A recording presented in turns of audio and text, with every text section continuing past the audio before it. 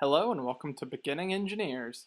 Today I'm going to be talking about the all-important flowchart, a super simple tool to build and understand, but is often underused and is super useful when made correctly.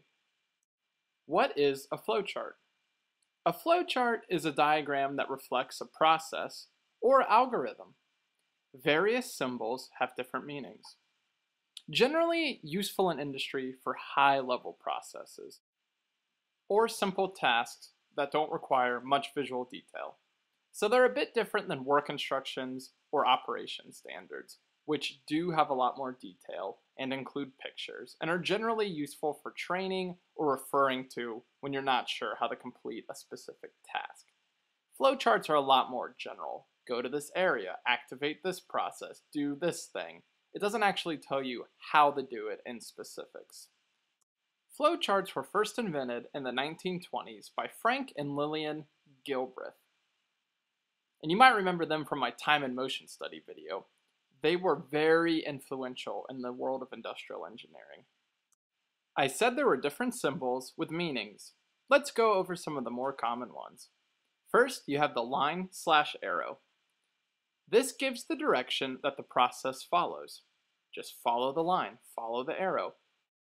It will connect tasks that come one after another, or it will connect documents or ideas together. Then you have circles or round rectangles. Generally, these trigger the process to start or end. So you'll see one on the very left or top, or the very right or bottom. They will often contain the trigger and text. Buzzer activates, flip switches.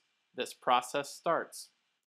Some flowcharts I worked with in the past always had circles in the beginning.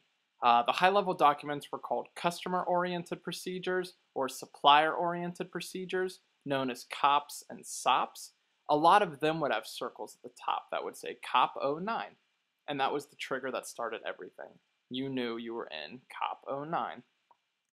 And sometimes the end trigger would be going into a different procedure. So at the bottom it would say process ends, move to SOP 03, for example, rectangles generally almost always represent processes. You'll generally see more rectangles on a flowchart than anything else, unless you're working in more niche fields, data analysis or things like that, that might have a lot more data related symbols. But otherwise, you're going to see tons of rectangles because rectangles are things actually happening. Diamonds allow for a choice to be made. They generally allow two options, and depending on which option is chosen, it will lead in a new direction. The ones I see are always yes-no options. You have the rectangle with a curved edge. This represents documentation that is needed or should be referenced at a certain point. Say perhaps in the flowchart someone has to use a bandsaw. Well, there's probably documentation on how to operate that correctly, whether it's from the manufacturer or internally your department has some, so that would be a good time to put that symbol in.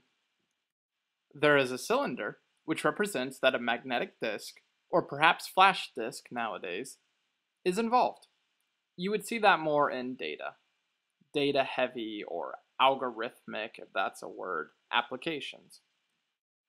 Again, sticking with the data theme or computer algorithmic idea, there's the parallelogram, which is basically input and output data, generally seen again in data processing applications. You have the rectangle with two vertical lines. This shows that a predefined process is already in place. It can be used to refer to another flowchart. So now that you know the basics behind what flowcharts are and some symbols used in making them, you can go out and create some for processes all around you. Although I'd recommend follow some general rules for usability. When connecting your boxes or shapes of some sort with lines, try to cross them as little as possible. You see that image on the right? One of the lines has a little half circle. That's supposed to show that the one line is jumping over the other. So if you have to do the necessary evil of crossing lines, do a half circle so it looks like they're jumping over each other. It helps follow the path better.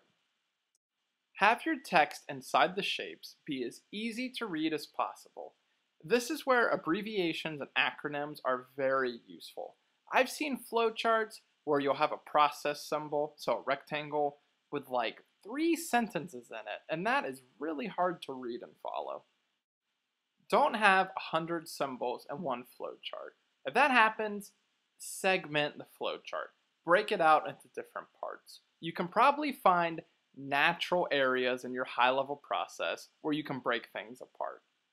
Unless for some reason you need your 90 symbols because it all happens very quickly, which usually isn't the case.